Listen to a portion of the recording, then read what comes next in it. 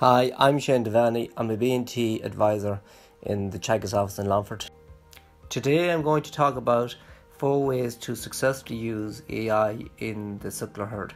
They are good cow nutrition, heat detection, handling facilities, and synchronization programs.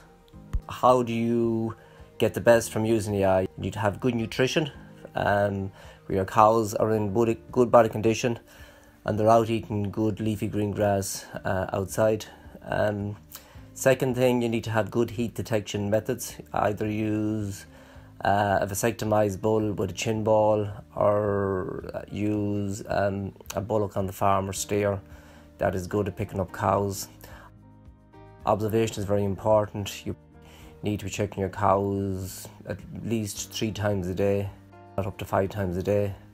Also, handling facilities is very important.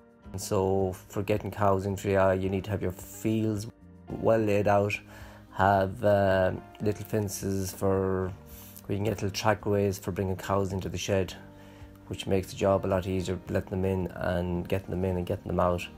Um, you can also use synchronization programs as an aid where uh, labour can be an issue, and if you're not around during the day to keep an eye on cows, um, these methods uh, can be used. We can use fixed AI uh, after using certain synchronization methods, and these have a success rate of anything from 30 up to 70%.